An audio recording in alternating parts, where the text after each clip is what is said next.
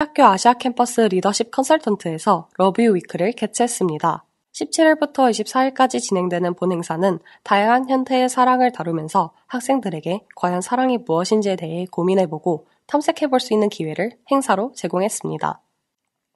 지난주 월요일 킥오프를 시작으로 화요일 점심시간에는 유기농 점심과 함께 유기농 식물 가꾸기 행사를, 저녁에는 이미지 컨설팅과 personal 컬러 진단 행사를 통해 학생들이 inner beauty를 키우고 자신에 대해 더 알아가는 시간을 가졌습니다. 수요일에는 젠더 의식을 증진할 수 있는 젠더 매거진 행사를 진행했으며 목요일에는 탤런트 쇼를 끝으로 러비우 위크를 막을 내렸습니다.